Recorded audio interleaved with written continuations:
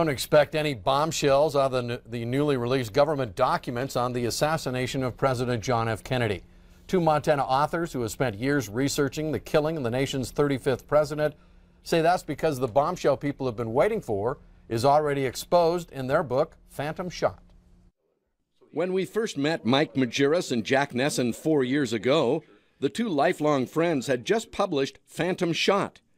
Their book concludes that not only was Lee Harvey Oswald the sole assassin of President Kennedy, but that he fired only two shots. And once we put this out, there would be other people that have been studying this for 35, 40 years go yeah, that's got to be right. But that hasn't been the case. In fact, with the National Archives now in the process of releasing thousands of JFK documents, the conspiracies flourish.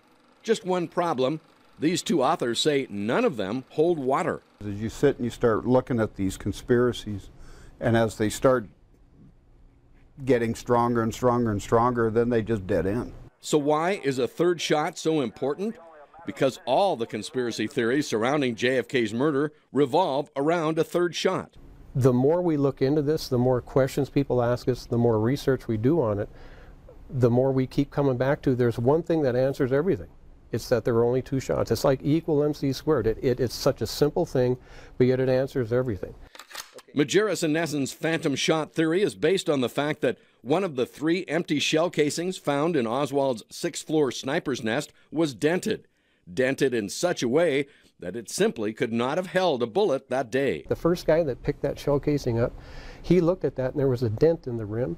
And his first thought was this couldn't possibly have been used today. There's no way a bullet would have fit in this shell casing because that dent is too big. They believe the denting was caused by Oswald dry firing the weapon a common practice to keep the firing pin from breaking. Clear evidence that Majerus and Nesson want to see for themselves. Jack and I want to see that shell casing, the actual shell casing.